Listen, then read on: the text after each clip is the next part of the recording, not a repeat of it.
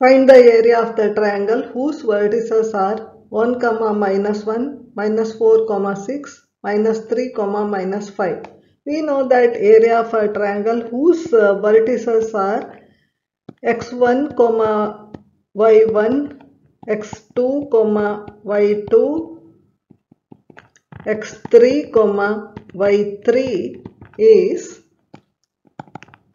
half into x1 into y2 minus y3 plus x2 into y3 minus y1 plus x3 into y1 minus y2.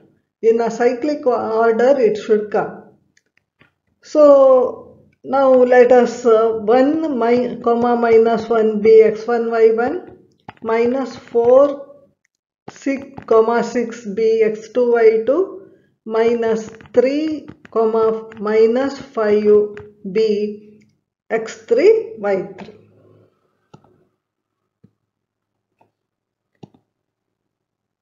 Now let us substitute the values half into x1 is uh, 1 into y2 is uh, 6 minus y3 is minus 5. Be careful in substituting plus x2, x2 is minus 4 plus into minus minus minus 4 into y3 is uh, minus 5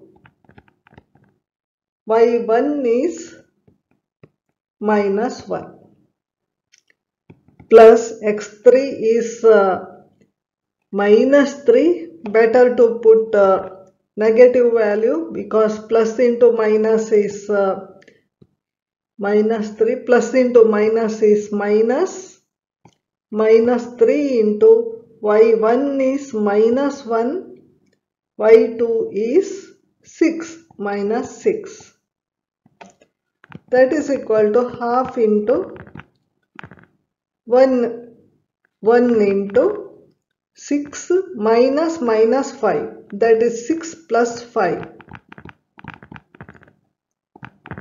minus 4 minus 5 minus minus 1 that is plus 1 minus 3 minus 1 minus 6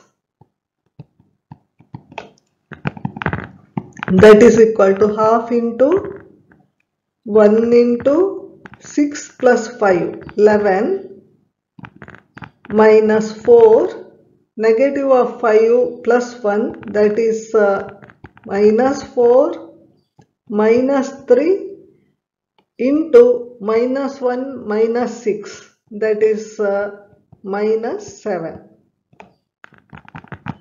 half into this is 11 this is minus 4 into minus 4 plus 16 here minus 3 into minus 7 plus 21 that is equal to half into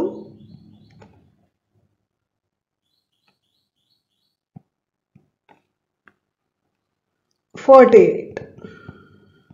That is equal to twenty-four.